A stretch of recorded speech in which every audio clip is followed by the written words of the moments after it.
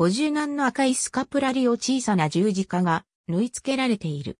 主の苦しみとイエスと聖母の精神の赤いスカプラリオは、カトリック教会の純秘跡としてのスカプラリオである。このスカプラリオについては、ラザリスト会が関係する。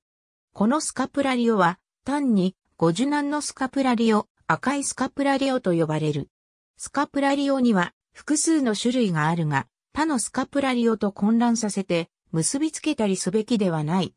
スカブラリオには5色あるが、赤いスカラプリオは、他の5色のスカプラリオの中で一番人気がある。赤いスカラプリオとその肩紐は、赤のウール地で作られていなければならない。そして他のほとんど、スカプラリオと異なり、これは必須の絵図が描かれる。この片面には十字架と、キリストのご受難の攻め具のいくつかが描かれ、次の言葉が書かれる。我らが、主イエス・キリストの聖なるご受難は我々を救う。もう片方には、小さな十字架が、イエスの精神と聖母の汚れなき精神の上に絵が描かれ、この言葉が添えられる。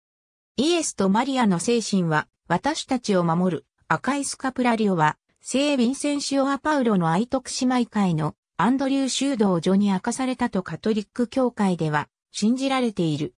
この伝説によると、フランス、トロイの彼女の修道院の中で、1846年7月26日から同年9月14日の間にイエスと聖母がこの修道所の前に現れるビジョンを見た。このビジョンの中でイエスと聖母は彼女に次のように約束した。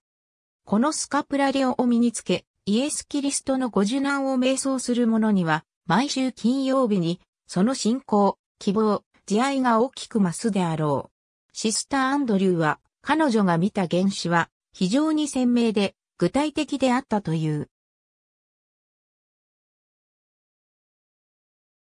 彼女が霊的指導者や出て書いた手紙によると、キリストの顔は青ざめていたため、私は冷や汗をかいてしまった。我らの主の頭は先方へ傾いていた。私が思うには、長い茨の冠の棘が痛むのでこの姿勢になってしまったのか。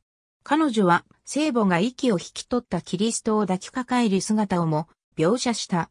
ある日曜日の夕方、私が十字架の道行きをしている時に、十三流で、私には、聖母が私に、聖なる主のお体を私の腕に、お渡しになったように思えました。そしてこのようにおっしゃったのです。世界がキリストのご受難を決して考えていないので、世界は自ら破滅を引きずり下ろしている。あなたは、主のご受難を瞑想するためにできる限りのことをしなさい。救済するために、聖ヴィンセントの祝日の夜にもシスター・アンドリューは、イエスがピラトの皇帝で裁かれる様子や、十字架を背負って苦しむ姿などを克明に原種をしている。シスター・アンドリューは、イエスが十字架に貼り付けにされる時を描写している。そして、いかに無礼な扱いを受けたかを検視して身震いした。そして、聖母が次のように語ったとする。世界は破滅に向かって急いでいる。なぜなら、キリストの受難を考慮しないからです。あなたたち皆が、キリストの苦しみを考慮できるようにしなさい。あなたたち皆が世界を救えるようになりなさい。シスター・アンドリューが主張するには、この赤い地のスカプラリオを身につけることは、キリストの受難という揃いの服を着ることでそして、それが地獄の攻撃に対抗する強い鎧兜であり、精神的な敵の矢に対する突き通せない縁立てであることを証明する。キリストの言葉によると、信仰と献身とともにそのスカプラリを身にまとう、ものすべては、許しの制約、恵みの源を得るだろう。という。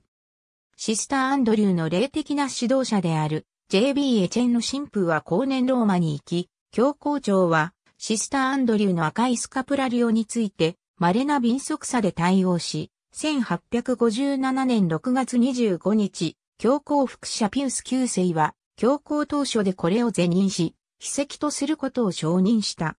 教皇はこのスカプラリオを身につけることで、様々な罪の許しを与えられるとし、ラザリスト会にこのスカプラリオを祝福し、信仰と共に着衣させることを許可した。